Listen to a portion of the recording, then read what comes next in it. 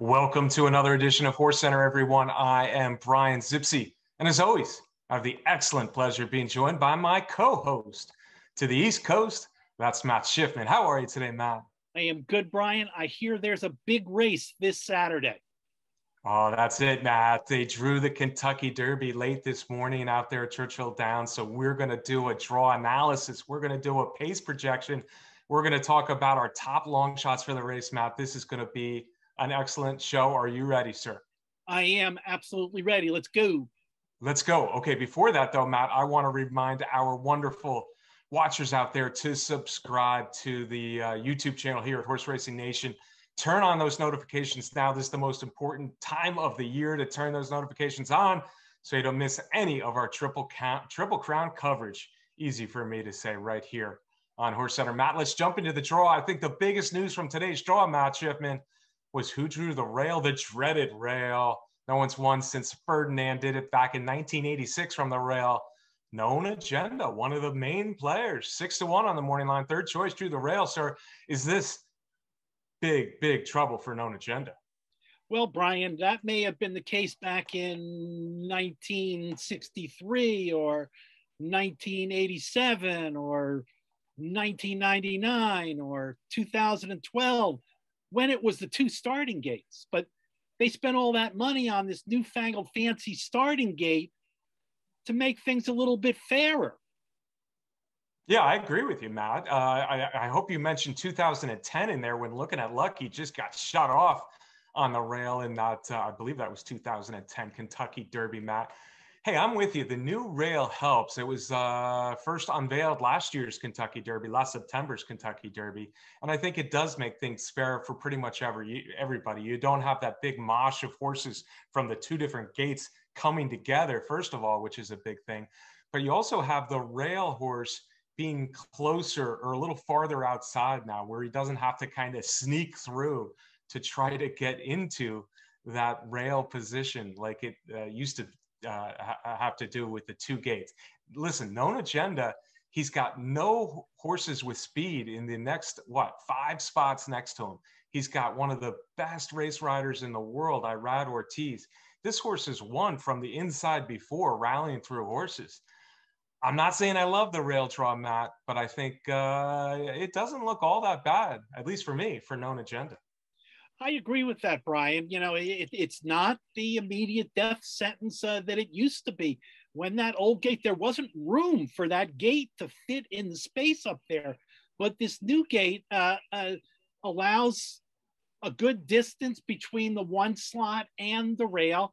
And let's face it, known agenda is not going to the lead, was never going to the lead, was was and is a horse that was going to lay mid pack so now what's going to happen? He's going to come out of the gate uh, uh, as he pleases. He's going to have a ground saving trip guaranteed on the rail, Brian. He's going to chance to probably sit mid pack. And Irad Ortiz, you know, who many believe is the best jockey in the country right now, is a jockey who prefers to not rush, his rush horses to the lead, but to come from off the pace. So yeah, would it have been better if Known Agenda had drawn the 10? Uh, probably, but so much can happen in the Derby that, you know, we're just guessing at any point what's going to happen coming down the stretch. But uh, Known Agenda is one of my top picks. I'm not throwing him out. Yeah. Hey, they say luck of the draw. I think it's luck of the first uh, 20 steps out of the starting gate or the first 20 yards out of the starting gate. That's when real trouble happens. Uh, what Matt and I are saying is don't be surprised if the one hole is not the worst thing in the world for a known agenda, one of the favorites. Map two, three, four, five, like the king, Brooklyn Strong, Keepmeinmind, St. Hood. They are all 50 to 1. None of them really have a lot of speed. I guess we don't have any problem with those posts. These horses are going to drop back. Yeah, without question, Brian. And you know, and then you go to number six with O Besos, um, who I think we both consider more of a threat in the race than some of those other ones but also uh, not a lot of speed. Yeah, yeah. O Besos uh, doesn't have to worry about finding a good position early. He's going to drop pretty far back. In fact, he's one of the most sure horses I think that'll drop back. And he too has rallied from the inside in his career. Number seven, Matt, is Mandaloun, kind of a real wild card for him. I think seven makes a lot of sense for him, as it does number eight for Medina Spirit, two horses with some tactical speed. Yes, Brian, they're in they're in a good position to uh, uh, do what they want to do. But when you're talking about uh, having that tactical speed, uh, they are horses that are vulnerable to stuff going on early out of the gate. If they want to be a presser and get right up behind the pace, uh, things have to go smoothly for them. Right. Things have to go smoothly from them. And as horses who might want to stalk the lead, they might have some other horses like themselves coming in from the outside. One of those horses is immediately to their outside, and one of the race favorites, uh, eight to one on the morning line. Fourth choice is Hot Rod Charlie. Nine hole seems pretty good for him. Like the, the horses I just mentioned, though, he will have horses on his outside with a little bit of speed or tactical speed kind of moving over all in all, though, I can't be too unhappy about the nine hole for Hot Rod Charlie. Yes, it is. It's a good spot for him if all goes well to get into the the stalking position right in the catbird seat for the Doug O'Neill runner. Yeah, and one of the most common uh, spots to win the Kentucky Derby is from post 10. Post 10 is Midnight Bourbon. I think that's a good draw for a 20 to 1 shot on the morning line, Matt. He has a lot of speed. Mike Smith's going to get on in the in the Derby. And uh, I kind of expect Midnight Bourbon to making be making an early move from that 10 hole. Yeah, a real consistent kind of performer, but one of the ones that probably wants to be uh, moving a little quicker out of the gate. And the 10 hole is a great spot for it. Yeah, the next couple on the list, Matt, are a little bit longer shots, although the 11 uh, get some love, I think, on the morning line. Dynamic one at 20 to 1. Uh, there's been a few people talking about him, including yourself, Matt Schiffman, and I think you have to be pretty much tickled pink in the 11 hole. Yeah, at least, you know, at least Pletcher got a decent post position uh, with uh, with Dynamic one. Um, drawing the one and the 20 with a couple of his other horses. Right. Outside him is Helium and Hidden Stash, the 12 and the 13. They're both at 50 to 1. No love for the Tampa Bay Derby winner shown by the uh, morning line odds maker Mike Battaglia, 50 to 1 on Helium. I would expect him kind of more middle pace, maybe Hidden Stash drops a little farther back. Once again, no real issues unless something unlucky happens for those 12 and 13 positions. Yeah, absolutely. They're not worried about flying out of the gate. They can come out and have their jockeys, you know, uh, uh, uh, settle them down and uh, get into a comfortable stride. Okay, Matt. Now we really start to get into the meat of this draw because the two race favorites, the favorite, Essential Quality, drove 14. Rock Your World, second choice on the morning line at five to one, right outside him in the 15 hole yeah, Brian, and and uh, different kind of running styles there, um, and we'll talk more about that in the pace projector uh, as we go along. Yeah, essential quality. Listen, I think he wants to be in the first ten of this Kentucky Derby. 14 seems like a good spot for him. More speed to his outside. Obviously, Rock Your World wants to go out there from the 15 hole if I was their connections, if I was their trainer, I, would be pretty happy with where they drew. It seems like there's been more Derby winners from the outside than the inside of late, including last year, 15 authentic did a lot of good front running to win last year's Kentucky Derby. Number 16 is a horse who wasn't on the list a week ago, Matt, but he's looked good at Churchill Downs. He's gotten some talk from the from the wise guys, Matt Schiffman. He's King Fury uh, all of his wins, he's come rallying up to win. But on the other hand, he's also made his move a little bit earlier than a true late uh, stone clo- stone cold closer. Yeah, and certainly whatever happens in the you know early going and the first half of the race is going to dictate for a horse like King Fury how far behind he is and when he's going to be able to make make his move. But as you said, Brian, a uh, couple of big wins at Churchill Downs as a as a uh, two year old, and then came back uh, with a really uh, nifty performance to win the Lexington at Keeneland and get into the field. Yeah, yeah, he uh, he made an early move in that Lexington from pretty far back. It was on the slop, Uh, he might be a horse who prefers the slop over a fast track, but he certainly won at Churchill Downs, as you mentioned, and on a fast track before. Number 17, the fifth choice on the morning line. Lucky, now let's say that differently. Unlucky number 17, Matt Schiffman, for a highly motivated 10 to 1 on the morning line. Yeah, is that 17? Is that still the post position that nobody's won from, Brian? That is true. Yeah, and uh, you know, from what I've heard from uh, Chad Brown, uh, they want to get going out of the gate fairly quickly with highly motivated, as he did um, in the bluegrass. Yeah, so it's interesting here. 14 the favorite, 15 Rock Your World, the speed, 16 King Fury, and uh, highly motivated, two horses that don't want to sit too far back. It'll be interesting how four of those maneuver uh, the first quarter mile towards that first turn at Churchill Downs. Number 18 is Superstock. We said he got a perfect trip when he won the Arkansas Derby. 18 seems a little bit farther outside than I would want, but his trainer Steve Asmussen said it's just fine. It's perfect. Yeah, it's the new mellow Steve Asmussen uh, uh, seems okay with it. Um, hey, he's probably going to not encounter much traffic out there. He can settle in and uh, make a move. Yeah, I would expect him to drop a little farther back than those horses we just talked about directly to his inside. One horse who I expect to show some speed is uh, number 19, Soup and Sandwich, the uh, good-looking gray son of Into Mischief, the second from the Mark Casse barn, Matt.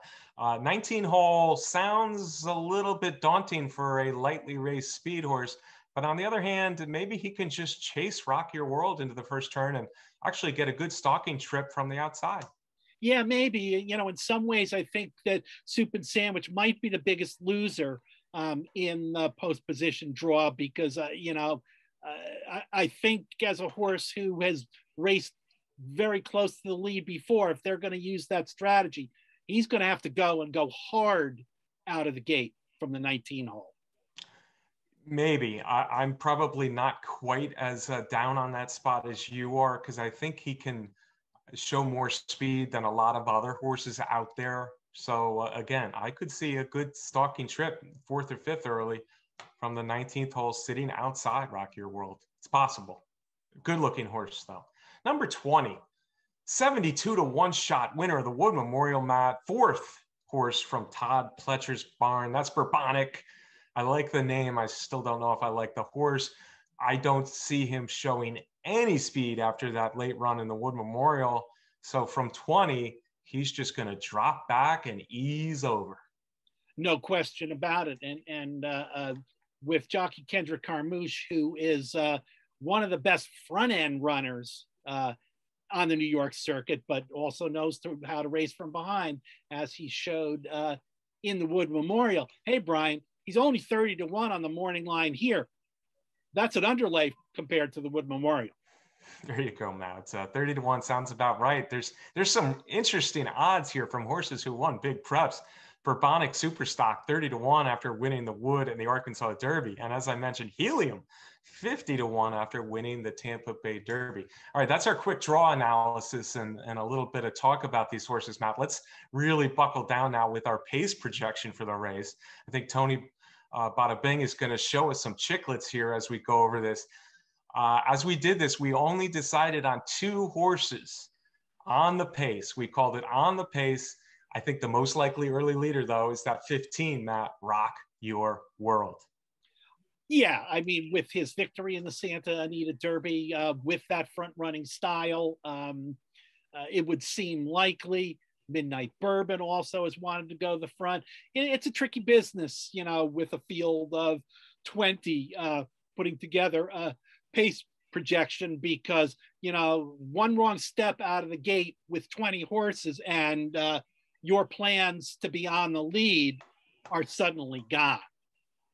Very good point, Matt. That's right. Yeah, this this is all kind of uh, assuming everything is fair and, and no one has bad luck. But as we know in the Kentucky Derby, that is never, literally never completely true. So hopefully we'll have as fair a race as possible. But Rock Your World coming off that Santa Anita Derby, I don't think he wants to have dirt kicked in his face for the first time here And I tell you what, I think he may have been the biggest uh, beneficiary when Caddo River, the horse we really thought would be on the lead in the Kentucky Derby, uh, backed out with a slight uh, fever uh, earlier in the week. So Rock Your World from the 15.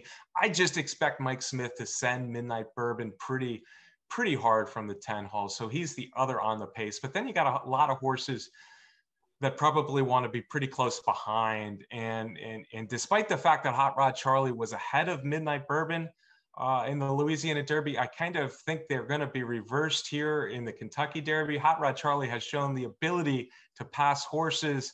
I think he went to the lead in the Louisiana Derby only because there wasn't much speed uh, quickly in that race. So we have him leading the close behind group, along with Medina Spirit, Bob Baffert's only runner in the field, Matt, and Soup and Sandwich coming from the far 19, outside 19 post yeah, so it's going to be interesting to see how it plays out. How many of those five that we've mentioned in the first two categories are going to be pretty close to the lead? Um, and I agree with your assessment of Hot Rod Charlie. I think his front end victory in the Louisiana Derby was a was a bit situational in that he got out of the gate quickly, found himself on the lead, uh, settled into a nice stride. Nobody came up and challenged him. So he just kept going. Um, it certainly isn't going to play out like that in the Derby. So I, I, see Hot Rod Charlie as one as less likely to be right up close to the lead than maybe the other four. Yeah, and, and, all five of these horses, Matt, I don't think they're complete throwouts. We're talking about the two on the pace horses we have, Rock Your World and Midnight Bourbon, who are uh, out of the 15 and the 10 hole. Then Hot Rod Charlie, the nine, Medina Spirit, right to his inside the eight, and then Soup and Sandwich way on the 19. These are all horses who have at least a fighting chance. We would expect them to be following close behind. And these are horses that can probably stick around for a long time in this mile and a quarter uh, Kentucky Derby as we move down that Churchill Downs backstretch. The next group, Matt, we call the stalking group. And I think these are all horses who don't want to be too far. So we talked about five, maybe on or near the pace. These three make eight that don't want to be too far back, but they have a little bit more rallyability, if that's a word. Uh, uh, so we put them in the next group, the stalking group, led by Essential Quality, the favorite, the undefeated champion, highly motivated, who Chad Brown says might want to show a little bit more speed again from that 17 post. Highly motivated, has broken poorly, we didn't mention uh, a few times. So it's really important that, that he gets a good start so he doesn't get shuffled too far back, which I think could be a real problem for him. I don't want him uh, 15th or so early on. And then Mandaloun, another horse. I just don't know exactly what he's going to do, but I would expect uh, relatively close to the pace from the seven hole. Yeah, I agree, Brian. So now we're now we've got a list of eight horses, um, and uh, who you know to some extent have similar running styles and you know we're going to see what happens with them. Right. A little bit of luck uh, a little bit of race riding and a, and a little bit of what jockey does the best decisions uh, early and, and mid race in here. But uh, i could easily see all eight of these horses within five six lengths as they go down that churchill down uh, backstretch matt the next group is the biggest group and this is where maybe the most shuffling and the most racing luck could happen. We call them the mid pack, and it's a little farther back maybe than the true middle of this 20 horse field. But I guess this would leave us about nine through 16. These are horses who don't want to be out of touch early, want to find racing room, but want to make a nice move on the turn so that they're in really in the race by the time they uh, turn for home. We already talked a lot about known agenda on the rail. He leads the mid pack group, but you also got the Arkansas Derby winner, Superstock Mount. You got the Tampa Bay Derby winner, Helium, like the King, the, the, the Ruby Stakes winner, Dynamic One, your, your long shot that you like so much. King Fury, the interesting uh, Lexington winner from the barn at Kenny McPeek. Brooklyn Strong, who's kind of a uh, feel good story, who got Umberto Rispoli a Derby mount after all. And finally, Sainthood, a horse who, frankly, I thought looked very good in the mornings out here at Churchill Downs. It's a big group, Matt. Yeah, and and these mid packers are kind, you know, kind of deal with the race the opposite of the horses that we mentioned that want to be on the front. Those those frontly, forwardly paced horses got to get to that position quickly. These mid packs are going to be happy to come out of the gate easily, find a nice spot, get into stride comfortably down the back stretch, coming around the clubhouse turn.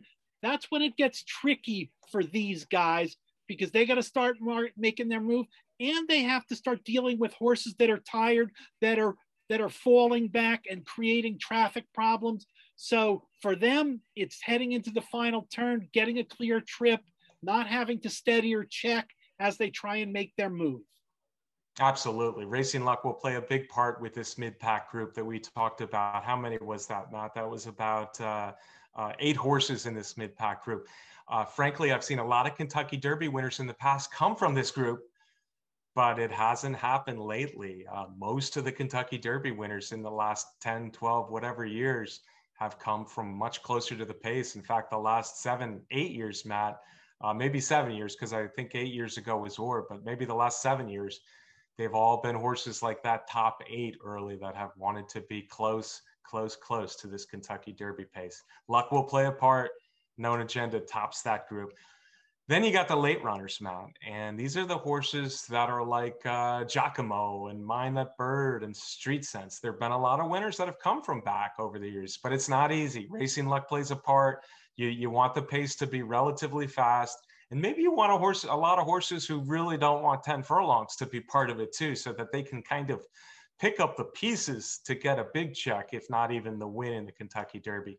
We've identified four horses that we really, they might not be the last four early, but we don't think any of these four really want to be uh, uh, too far up, even into well into the mid pack. They want to make one late run. O Besos, Bourbonic, the Wood Memorial winner. Hidden Stash, fourth in the Bluegrass. And finally, keep me in mind who could be Matt Schiffman, the longest shot on the Kentucky Derby odds board yeah, and these are horses that don't that aren't necessarily going to win the race, but at big odds are horses that you have to think about if you're a trifecta player, if you're a superfecta player. There are plenty of these that have picked up the pieces, passed a lot of tired horses, gotten into the trifecta to produce a nice payout. That's right. And, and again, I'm going to mention the defection. Well, first concert tour, I thought he was big speed horse, and then Caddo River, who I think is a true speed horse. The fact that neither of these are in the race makes me like the late runners just a little bit less than I did a few days ago or a little bit over a week ago when I thought those Arkansas Derby horses would be a part of this Kentucky Derby. I like at least one of the late runners to uh, to to to make up some ground, make up some uh, uh, real uh, distance in the stretch here. So we'll see. Those are the four we see last early, and hopefully we'll have a fair Kentucky Derby, a safely run Kentucky Derby, Matt, and hopefully we'll have some drama in the last eighth of the mile at Churchill Downs. That's our pace projection. Yeah, we'll see how it all plays out. Got to get a trip in the Derby. Racing luck. Racing luck more than any other race is a big part of this Kentucky Derby. All right, Matt, we talked about the draw and our analysis thereof, and we talked about the pace projection. Part of this show, though, this show particular, the first of two this week, we want we really want to identify the long shots that we're kind of zeroing in on. And this Kentucky Derby, I think more so than most, I had a hard time narrowing my top long shots down to three because I think there's a lot of interesting long shots in this race, Matt. If essential quality truly is two to one in a 20 horse field, that means you're going to have 16 of these horses double digits. That means you're going to have a lot of good horses 15, 20, 25 to 1 in this year's Kentucky Derby. You ready to talk about your long shots? Absolutely. You know, and and in, and in this modern day uh, Kentucky Derby, the the long shots tend to be grouped together. There tend to be a, just a lot more horses who are 20 to 1, 30 to 1, 40 to 1. It's we no longer are there the 90 to 1s, 100 to 1s in the Kentucky Derby that there used to be. And I think that plays into what you were saying, Brian, where it's it's, it's hard to pick out the long shots that you like. But I got some uh, I got some that I like. Some of them, Brian, quite frankly, I, I don't necessarily necessarily see winning the race, but I do see them as important to use in the trifecta. And, and, we'll talk more about that in our wagering show that's going to be available to you, uh, Horse Center fans, uh, on Thursday. But my bombers start out with uh, Dynamic One from the Todd Pletcher barn is 20 to 1 on the morning line. Got a good post position draw in the 11, right in the middle of the field. As a horse that, you know, uh, uh wants to wants to sit mid pack. The connections of this horse, Pletcher, the owners were very, very high on this horse uh, in heading into the Wood Memorial. I think he's a horse that's getting better. You're getting Jose Ortiz up. I like this horse a lot at 20 to 1. Yeah, Matt, I, I can't disagree. This horse is getting better. He's looked good in the mornings here at Churchill Downs. He's one of those mid pack horses we talked about, but I think he's moving in the right direction. And he's bred for 10 furlongs. A lot to like there. Who's your number two on the bomber list? My number two is my big, big, big bomber. I've liked this horse uh, since I, since he qualified for the Kentucky Derby. It's another Todd Pletcher. That is sainthood sainthood in the Jeff Ruby. Um, Rihanna was was making a move coming down the stretch, and at the top of the stretch, just got completely shut off. Brian lost all momentum very quickly. Got back in stride, made a big closing move. He broke his maiden on the dirt already. Um, first two races were on the dirt, so I don't think that performance was a reflection of getting on the Tapeta at Turfway Park. Um, five hole picks up Corey Lanerie, Churchill Downs regular from the five hole. This guy is going to break slowly, move to the rail. Corey Lanerie has kind of become the new Calvin Borel, a jockey who is known for rail trips at Churchill Down, and that's where he will be. He's going to save ground and Watch for this guy to come flying 50 to 1. He's the key for me to a big day of wagering. And I'll let you know about that on our Thursday show. Matt, I'm just going to keep interjecting here with little comments on your bombs. You gray haired gentlemen sure do like to stick together. Todd Pletcher, you're right though. In the in the Ruby Stakes, uh, Sainthood had a lot of trouble. I, everybody could see it. He ran a good race. I worry about his class. I'm not sure how far he's going to drop back in here, but uh, hey, 50 to 1, the odds are right. Maybe maybe he drops all the way down to 37, 38 to 1 as they go off, but that's a bomb. You get them in your trifecta, your superfecta, you're going to be happy. Yeah, absolutely. My third bomber is King Fury, the late addition to the Derby field. Um, loves Churchill Downs, 20 to 1. We talked about him a little in the show already. I think his performance uh, in the at Keeneland uh, was noteworthy. Another one that's going to be coming late at 20 to 1. Yeah, and they're not projecting too much rain the rest of the week here. It's kind of hot and breezy right now as we speak, uh, about five days out. Uh, King Fury has looked good in the mornings. I liked what I saw in the Lexington too. It's important that he took another step forward because, yeah, he did have two nice wins at Churchill Downs but he also proved not to be quite at the top level last year as a two-year-old. Uh, Kenny McPeek said he got a little tired late last year. He gave him some time. He's he's loved the way he's come back. And uh, hey, Matt Lexington got him in, and now he's a horse maybe on the move, on the rise, peaking at the right time. Might just end up on my bomber list as well. We'll see in a second here. All right, it's time for my bomber list, Matt.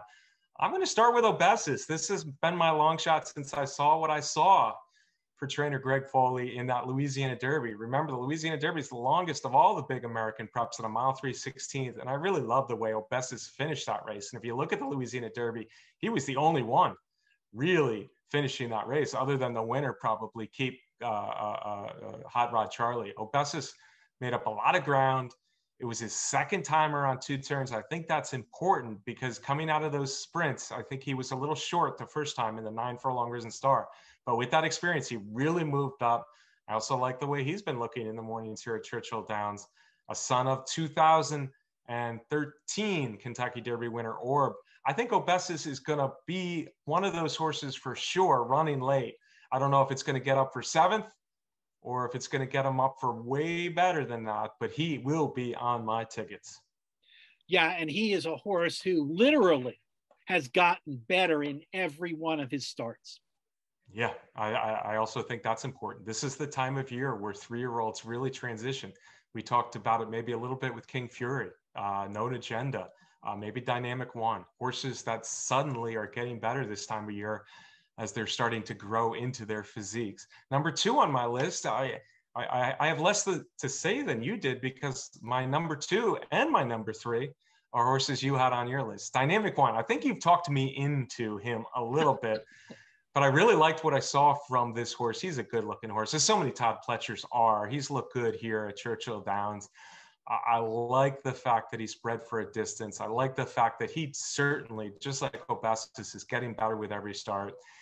I said he flattened out late in a few of his races, but often the Kentucky Derby is won on the turn. And this would be a horse who could win the Kentucky Derby on the turn because he's a horse that can make that early move.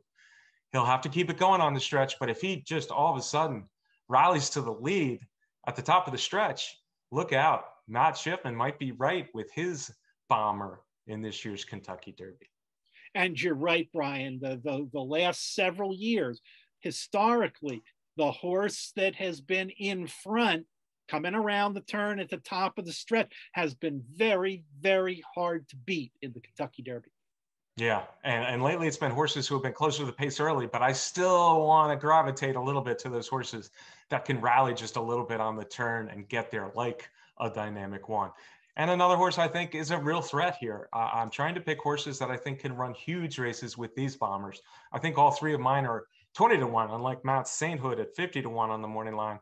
King Fury just has really impressed me. I, I think he's a horse who is a good two year old. You mentioned it. He liked Churchill Downs. Kenny McPeek has him stabled here. I think he's flourishing. I really like his breeding. I really like the way he looks. He looks just the part of a top notch horse as I see him up close here at Churchill Downs. The Lexington was a good performance. And once again, like Dynamic One, he's one that can make an early move make that maybe mid pack move to get right there as they straighten out. And, you know, I never thought I would have said this even after the Lexington, but certainly not before the Lexington. I think King Fury is a legitimate uh, shot to run a huge race in the Kentucky Derby. And Brian, quite frankly, it has never been harder to handicap the Kentucky Derby than it is this year with so many horses that are so lightly raced. There's just not that much in their past performances that you can rely on. So many horses with only three starts or four starts. Um, when it wasn't that many years ago, when you know it was seven or eight races that we could rely on. So it isn't get any easier to pick winners in the Kentucky Derby.